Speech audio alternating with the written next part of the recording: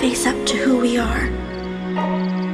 And when that day comes, I hope you will forgive me.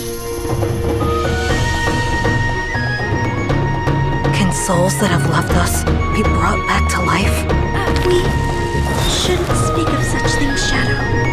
Does that mean I'll never see my mother again?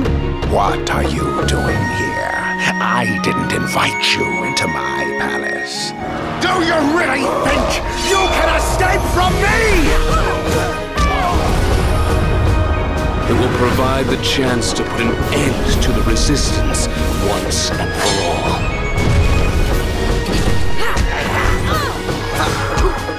You can do it. You have much courage inside you. It's what made you want to seek out the truth in the first place. Use that courage now.